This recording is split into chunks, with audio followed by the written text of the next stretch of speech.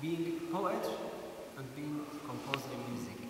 So it means the, the poet when inspire the poem and say the poem, but in musical way comes to him. I don't know if you can imagine. We're going to sing this piece now. Uh, was Shayda is a very famous composer, but he passed away just more than 150 years ago.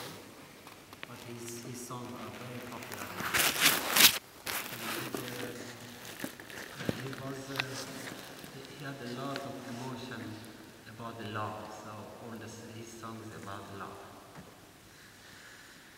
Uh, just uh, let's say 150 years ago there was two three uh, and after that since the European music uh, entered Iran it was just uh, 60 70 years ago Mm, first time from France came to Iran by the army music.